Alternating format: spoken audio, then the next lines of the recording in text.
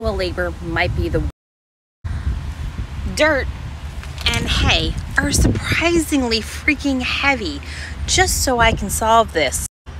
My dog likes to run back and forth. Okay, the point of it is is that in order for that to look beautiful again, I have to put in a shit ton of work of heavy heavy labor to get that done. Digital marketing is the same. It is not easy. You don't snap your fingers. It's not just miraculously done for you. It's hard work. It is sweat equity. Now, you might not be dripping sweat, but you're definitely going to be doing a lot of working, and you might give yourself a little bit of a mental headache while you're absorbing a whole bunch of information. But at the end of the day, you have to make a choice. Are you going to put the sweat equity in so that way you get the rewards? Outside, sweat equity, beautiful grass. Inside, my digital marketing business is, you know, going well. I'm talking to people, I'm making connections, and I'm helping them, and I'm helping my